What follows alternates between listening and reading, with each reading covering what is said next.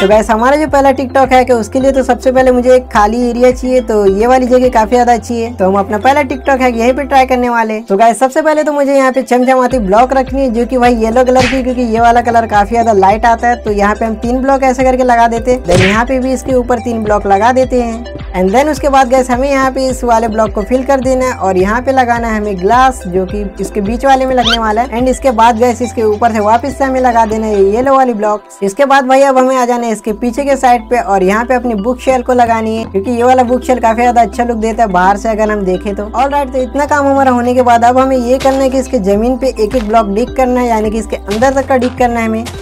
तो तीन ब्लॉक ही डिक करते, इसके ज़्यादा नहीं तो यहाँ पे अब हमें लगाना है डिस्पेंसर को, इसके अंदर के साइड पे, एक यहाँ पे भी लगा देते हैं। देन इसके बाद गैस हमें यहाँ पे लगाना है तीन बटन इसके बाद वही इस वाले एरिया को कर देते हैं कवर लेकिन इससे पहले गैस यहाँ पे हमें पहले रखना है अपना जो अंदर सामान हम रखने वाले तो मैं रखने वाले सबसे पहले तो एक गोल्डन एप्पल देन इस वाले में हम रखते हैं अपनी कैरेट को। एंड गैस मैंने जो इसके अंदर पे बुक शेल लगाई है, वो भाई सिर्फ़ शो पीस के लिए नहीं, बल्कि इसका यूज़ भी होने वाला है।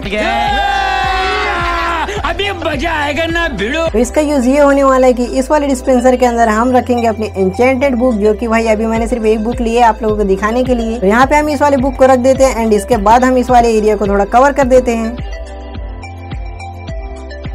तो गैस मैंने इस एरिया को कवर कर दिया एंड अब हमें लेना है अपना फ़ोटो फ्रेम और इसे यहाँ यहाँ पे लगा देना ताकि भाई हमें याद रह सके कि हमने कौन सी चीज़ें किस वाले डिस्पेंसर में डाली है। तो यहाँ पे हमने डाली थी अपनी एंचेंटेड बुक इसके अंदर डाली थी अपने एप्पल एंड इसके अंदर डाले थे अपने कैरोट्स अब गाइस ये ना एक तरह से अपनी वेंडिंग मशीन हो चुकी है तो जैसे हम इस वाले बटन को प्रेस करते हैं तो भाई गोल्डन एंचेंटिंग एप्पल हमारा बाहर आ चुका है. और इस वाले को प्रेस करेंगे तो भाई हमारा कैरेट बाहर आ चुका है तो इससे आप फ्री में जितना भी चाहे उतना सामान ले सकते हो. नेवर वैसे सामान तो आपको ही फिलअप करना होगा।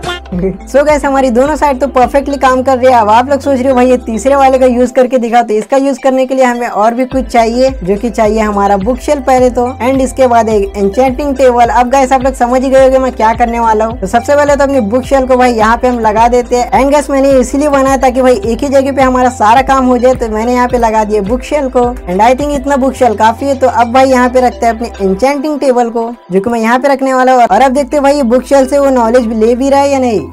तो गैस वो एनिमेशन आप देख पा रहे हो भाई, ये बुक शेल से नॉलेज ले रहा है मतलब कि हमारा एंचेंटिंग टेबल यहाँ पे फाइनली वर्क करेगा। तो गैस अब हमारा नेक्स्ट काम ये कि भाई, इस वाले बटन को यूज़ करना और अपनी एक बुक लेना और बुक को यहाँ से एंचेंट करना। क्योंकि यहाँ से जो बुक निकलेगी, वो भाई एक ही टाइप की बुक हमारी बाहर निकलेगी, जो की हमने एक ही बुक डाली इसके अंदर नाम तो हमें पता चलेगा नहीं। तो भाई, ये वाला डिज़ाइन काफ़ी ज़्यादा अच्छा लुक देगा आपके घर में, आपके एंचेंटिंग टेबल के लिए, जो की भाई मैंने बनाया काफ़ी इजिली एंड आप भी बना सकते हो काफ़ी ज़्यादा हेल्पफुल रहेगा। तो इस वाले दो को मैंने ऑप्शनल में रखा है, क्योंकि डिस्पेंसर तो अलग अलग बुक देने नहीं वाला तो भाई, इन दोनों के अलावा आप इसके आगे और भी इसे एक्सपेंड कर सकते हो। और यहाँ पे अलग अलग बुक रख सकते हो और साइन बोर्ड लगा के उनके नाम भी लिख सकते हो। एंड उसके बाद गए जैसे आप एक बटन को क्लिक करोगे, भाई, आपका पूरा बुक बाहर आते जाएगा और आप यहाँ से सिंपली एंचेंट कर सकते हो।